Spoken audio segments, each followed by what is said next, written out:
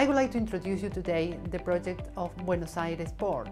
It's one of the biggest projects in Argentina that span over 500 years. During the life of that project, hundreds and hundreds of engineers took place. I want to show to you the importance of engineering regarding this specific project. Buenos Aires is situated in South America and the city of Buenos Aires is the capital of Argentina that it was founded as a port in 1580. At that time, the pier comprised a, a shallow, swampy terrain and to complicate things a little bit further, the city is located at top of an incline where a lot of heavy silt is deposited by Rio de la Plata and that make at that time the seaborne access quite difficult. Before the current infrastructure was, was built, uh, vessels need to anchor several miles away, miles away from the shore. All the cargo and people need to be transshipped to a smaller vessel with shallow draft to be uh, reached close to the shore.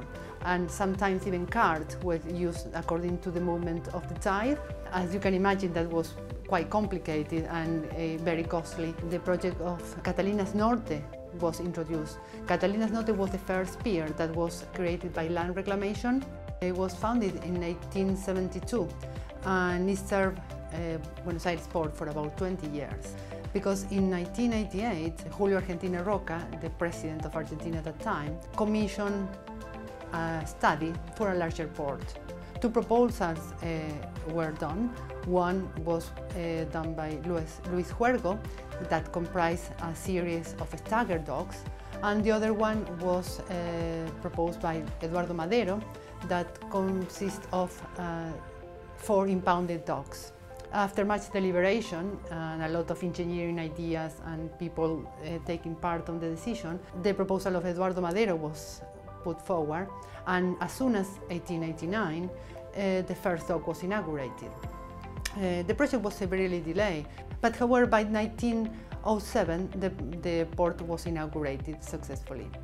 By the year 1911 though, uh, the port was struggling to accommodate bigger vessels. The Southern Dock was designed and built. Southern Dock originally was thought to support the trade industry because at that time in Argentina the biggest refrigerated packing uh, factory was located and Southern Port was originally thought to serve only uh, that industry. Along with the Southern Dock, uh, Luis Huergo's uh, dormant plan for uh, the stagger docks was approved and by the year 1925 Puerto Nuevo was inaugurated.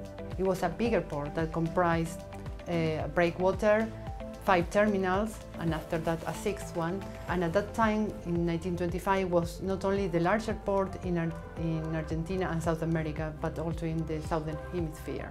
That was a very important step for the economy and uh, and mark the, the end of Puerto Madero really. In the last 20 years it has been a big project of reclamation and all those warehouse and uh, disused uh, terrain was rebuilt and now commercial retail houses uh, have been built and the docks were kept as reflecting ponds.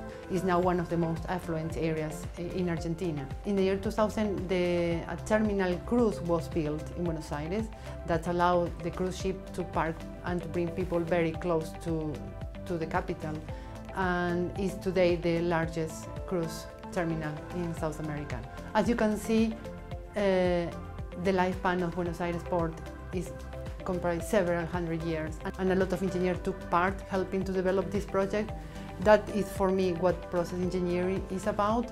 It's about finding the solution to the problems of today, is working together towards a positive legacy for the country, for the economy, for the world.